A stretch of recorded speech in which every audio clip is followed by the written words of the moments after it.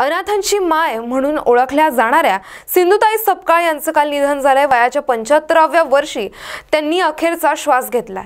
देशभरातून त्यांच्या निधनानंतर शोक व्यक्त केला जात असून सिंधुदुर्ग जिल्ह्यातील चित्रकार सुमन दाभोलकर यांनी त्यांना अनोख्या पद्धतीने श्रद्धांजली वाहिली आहे. सिंधुताई सपकाळ यांचे स्टोन आर्ट साकारून सुमन दाभोलकर यांनी त्यांना श्रद्धांजली वाहिली आहे. दगडाला कोणत्याही प्रकारचा आकार न देता त्यावर पेंटिंग करत सुमन दाभोलकर यांनी सिंधुताई सपकाळ यांचं स्टोन आर्ट साकारलंय.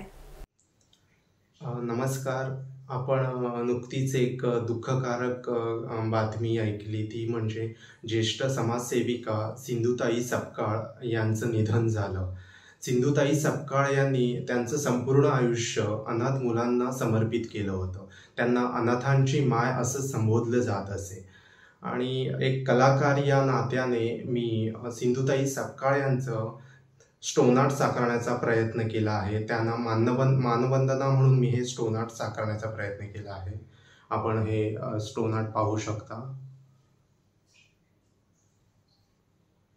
हे नदीतील दगडापासून साकारण्यात आलं आहे. अनाथांची माय सिंधुताई सपकाळ यांना मानवंदना देण्याचा माझा हा छोटासा प्रयत्न आहे.